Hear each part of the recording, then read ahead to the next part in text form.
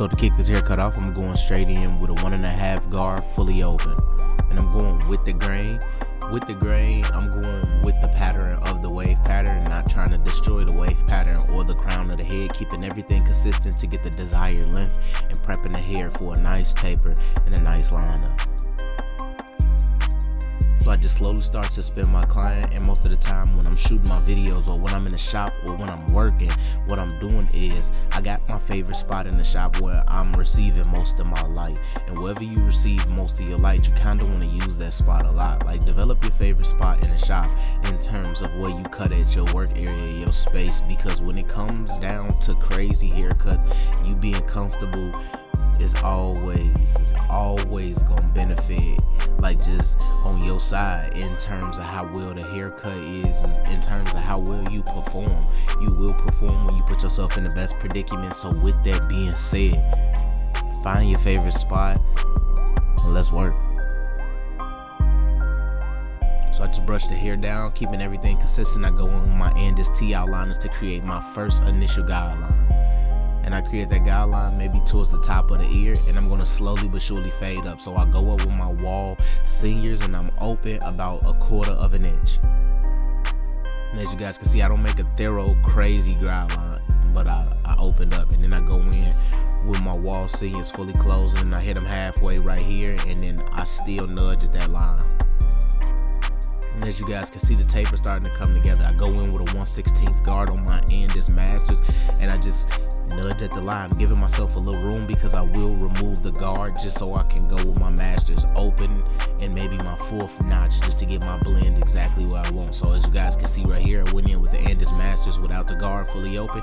Then I dropped it down to that fourth notch and I just cleaned it up and I maybe dropped it down to that second and third and flipped around. And then I go in halfway with my 1 16th guard and then I go up another guideline. See, one thing that I'm starting to notice about these wave of haircuts is you could get away with a lot. As you guys can see that real big wave that's above this guideline, the best part about this haircut and the best part about these wave of haircuts is if you decide to stop at the last big wave, it always falls in your behavior. So right here, I went in with the Andis Masters and it was fully open and I'm still nudging at the line about a quarter of an inch. And then just fading in between as you guys can see fade coming together crazy. So I go on my 1 8 guard and that's fully closed. And I'm just nudging at the line as you guys can see, not doing no real crazy digging in work. I'm using the hilt of the blade going up and down and using the actual design of the blade and the shape of the blade to develop my transition and my fade in this haircut. That's one thing that I'm starting to love so much that I'm not having to use as many guards. I don't have to go through so many different techniques and systems because I've learned my clipper. Just remember, the game gonna reward you for the work that you put in. That's bars. I'm gonna say that non-stop to everybody that's watching these videos. Like people think you out here just cutting hair, and it's not that. Whatever you put into anything, you gonna receive that back, and that's what that's that's what you would that's what you should want in anything is you just look at like real relationships and friendships. Whatever energy you put in, or if you put positive energy in, you will hope that it's reciprocated, or you know that it's gonna be reciprocated. So just understand and know like that's just the game and that's just how it works. So I just go on my 116th guard and I'm just doing detailing work.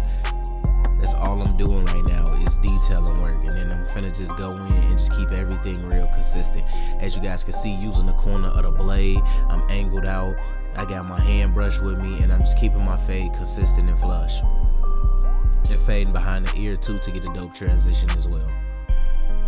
And I just slowly but surely make my way to the back of the head and I go on my end. Andis T outline is fully open and I go up about a full inch.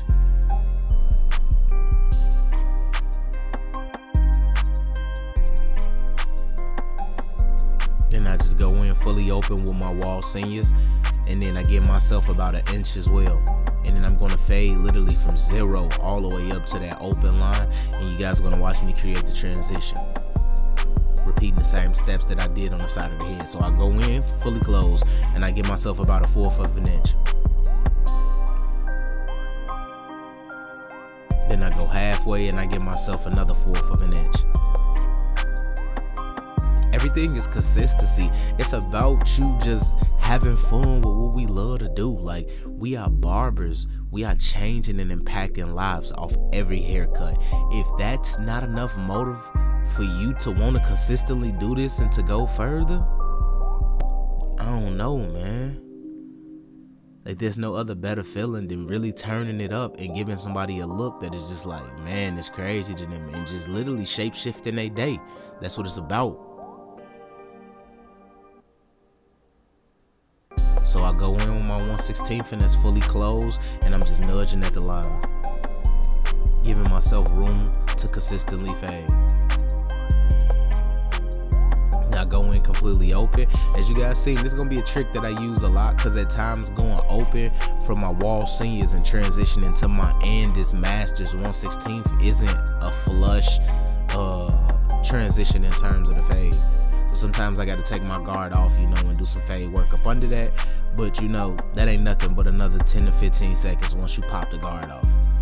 So I'll go in about halfway here and I'm going up another fourth of an inch, keeping everything real consistent, fading up to the last big wave. I'm telling y'all, if y'all take that approach, I'm not saying that that's the best approach in the world because some people don't want to fade up to the last big wave. But me personally, if my client can't give me the place or the designated place to go, or if they don't have a specific picture for me to copy off or imitate for them, then I would suggest going up to the last big wave. It just makes sense to me. So I go in with my 1 8 guard, and my 1 8 guard right now is just fully open, and I'm just really flicking at majority of the boat because I'm trying to get the transition of the fade. It's basically there. It's just this last wave of this hair that's curled up that's kind of making, you know, the transition look a little iffy, but just with staying consistent with remembering my steps, with brushing one and fading one, with having fun in the game and having a dope conversation with dope people. I want to shout out to my boy right here because he's from South Korea. You got people who pulled up from South Korea. If y'all don't understand and know how turned I was to shoot this video, come on, man. So I want to give a huge shout out to my boy Justin for making that trip from South Korea. And I want to give a huge shout out to my boy Jerm Boomin because he got this beat rocking. We just, man, we cooling right now. We having fun. And, you know, this should be chill. This should be dope for y'all. Like this, if this haircut is coming together for y'all, could y'all please leave a like, leave a comment. Like, let's get this engagement up. I engage with y'all so much in my comments. I respond back to almost every comment. Like, if it's one that I don't see, it might be because I dropped another video and I just never got a chance to go back to the previous video comments. But with that being said, get interactive with me. Drop as many questions if you have. If you don't talk to me, I don't know what to bring. I don't know what to talk about. I don't know what to do. So y'all need to help me out in terms of engagement and just drop these things in the comments, man. Let's rock out. Like I'm here to help y'all uh if y'all need anything and I'm here to learn from y'all as well. Like I'm still a student to the game. So with that being said, don't ever be discouraged. Let's work. So I go into this lineup with my Wahl heroes positioning the head exactly where I need it to be. And I just go in by literally drawing my lining.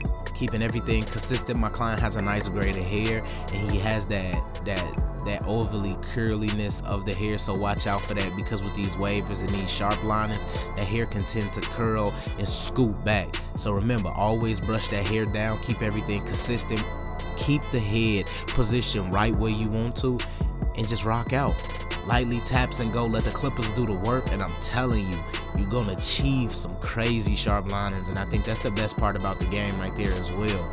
As long as you you you physically take your time with it, you can watch the haircut slowly and surely develop. As you guys can see, my client has an amazing, amazing set of waves, an amazing grade of hair, but just in the vertical bars area is just where he's a little lighter, and it's just the hair just being lighter there. Not saying he's receding or anything, but the hair just a little lighter. So we really finna soup it up, and we gonna go to the